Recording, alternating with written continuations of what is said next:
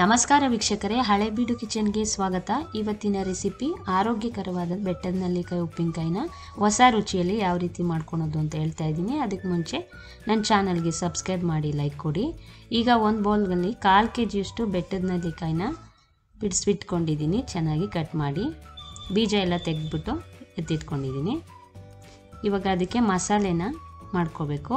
ಇಪ್ಪತ್ತೈದು ಒಣಮೆಣ್ಸಿನ್ಕಾಯಿ ಒಂದು ಸ್ಪೂನಲ್ಲಿ ಜೀರಿಗೆ ತೊಗೊಂಡಿದ್ದೀನಿ, ದೊಡ್ಡ ಸ್ಪೂನಲ್ಲಿ. ಒಂದೂವರೆ ಸ್ಪೂನು ಕಲ್ಲುಪ್ಪು ಹಾಕೋತಾ ಇದ್ದೀನಿ.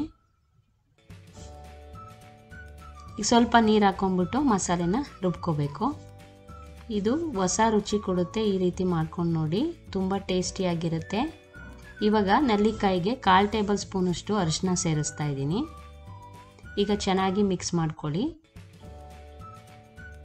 ಮಿಕ್ಸ್ ಮಾಡಿದ್ದಾದಮೇಲೆ ಮಸಾಲೆ ಸೇರಿಸ್ಕೊಂಡು ಚೆನ್ನಾಗಿ ಮಿಕ್ಸ್ ಮಾಡ್ಕೋಬೇಕು.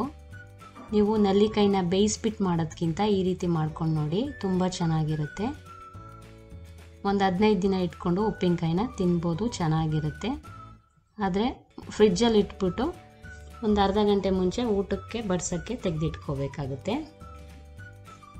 ನೋಡಿ, ಇವಾಗ ನಾನು ಒಂದು ಸ್ಟೀಲ್ ಪಾತ್ರೆಗೆ ಹಾಕೋತಾ ಇದ್ದೀನಿ. ಇವಾಗ ಇದಕ್ಕೆ ಎಣ್ಣೆ ಕಾಯಿಸಾಕಬೇಕು. ಕಾಲು ಕಪ್ಪಷ್ಟು ಎಣ್ಣೆ ತೊಗೊಂಡಿದ್ದೀನಿ. ಎಣ್ಣೆ ಕಾದ್ಮೇಲೆ ಒನ್ ಟೇಬಲ್ ಸ್ಪೂನು ಸಾಸಿವೆ. ಸಾಸಿವೆ ಸಿಡಿದ ಮೇಲೆ ಹದಿನೈದು ಬೆಳ್ಳುಳ್ಳಿ ಎಷ್ಟನ್ನ ಜಜ್ಜಿ ಹಾಕ್ಕೊಂಡಿದ್ದೀನಿ ಮತ್ತು ಕರ್ಬೇವಿನ ಎಲೆ ಸೇರಿಸ್ತಾ ಇದ್ದೀನಿ. ಸ್ವಲ್ಪ ಹಿಂಗೆ ಸೇರಿಸ್ಬಿಟ್ಟು ಚೆನ್ನಾಗಿ ಒಗ್ಗರಣೆ ಮಾಡ್ಕೋಬೇಕು. ನೀವು ಈ ರೆಸಿಪಿನ ಮನೇಲಿ ಟ್ರೈ ಮಾಡಿ, ಟೇಸ್ಟ್ ಹೇಗೆ ಬಂತು ಅಂತ ಕಮೆಂಟಲ್ಲಿ ತಿಳಿಸಿ. ಈ ರೆಸಿಪಿ ಇಷ್ಟ ಆದರೆ ಶೇರ್ ಮಾಡಿ, ಲೈಕ್ ಮಾಡಿ. ಬೆಟ್ಟದ ನಲ್ಲಿಕಾಯಿ ಉಪ್ಪಿನಕಾಯಿನ ಈ ರೀತಿ ಮಾಡ್ಕೊಂಡು ನೋಡಿ ಒಳ್ಳೆ ರುಚಿ ಸಿಗುತ್ತೆ. ತುಂಬಾ ಚೆನ್ನಾಗಿರುತ್ತೆ. ಎಣ್ಣೆ ಹಾಕಿದ ಮೇಲೆ ಒಂದು ಐದು ನಿಮಿಷ ಮಿಕ್ಸ್ ಮಾಡ್ದೇ ಹಾಗೆ ಇರಬೇಕು.